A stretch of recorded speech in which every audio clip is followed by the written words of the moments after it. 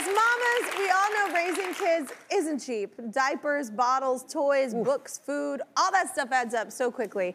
Um, in fact, the average cost to raise a kid in this country is more than a quarter million dollars. It's insane. I know, think about it before you get pregnant. Yeah. so, what's a parent to do when they're strapped for cash? My next guest is part of a group of moms committed to helping other mothers in New York City living below the poverty line. That makes her a rad human.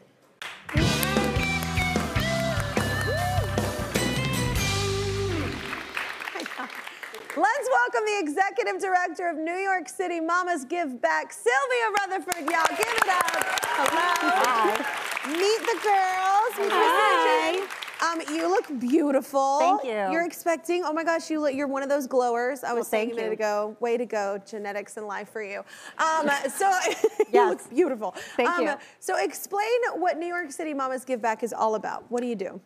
So we are a group of about four moms that volunteer our time in New York City to help um, moms who are living at or below the poverty line or experiencing homelessness with children ages zero to five.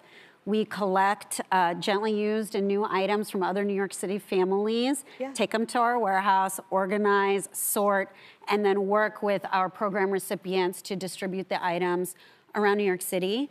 Um, we continually receive requests all the time, and we work with hospitals, early childhood development programs, yeah. human trafficking, domestic violence survivor programs, and then other community organizations. What a network of uh, just helpfulness. Um, so, what do moms mostly ask for?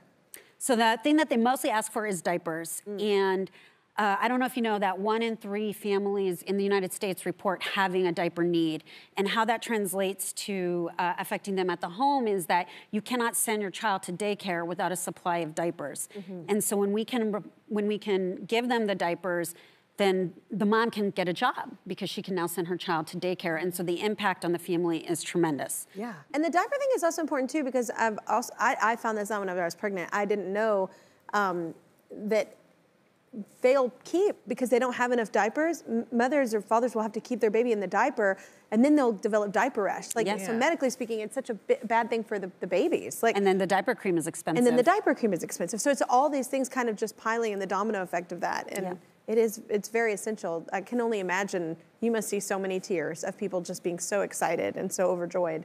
Um, is there is there a baby supply that you feel like you could have never lived without, like something that you really needed? Actually, I was going to agree with you. We were talking about this because we really think about like there's just such an excess of stuff, like especially when you have a shower and like you feel like oh my gosh, this is I don't even know if I'll use all of this stuff, but definitely that stroller and definitely those diapers. And I was telling Jen, I think also gift cards come in handy mm. when you just have them and you're like because you you always need diapers when you can least expect it and you can least afford it so you're like at the store and you're like i don't i don't have my cash card i don't have anything and you have a a gift card. I felt like those were really helpful, but the stroller and the diapers are key. Well, we reached out to our friends at Little Unicorn who create beautifully designed cotton muslin blankets, swaddles, quilts, and more. Their prints are all hand painted and celebrate the magic of kids and family. And they love all the work that you're doing Thank for New York, um, for the New York area and the New York moms. Um, so they're donating $10,000 to your foundation to help out. Thank you yes. so much. Yes. That's oh. amazing. And there's more.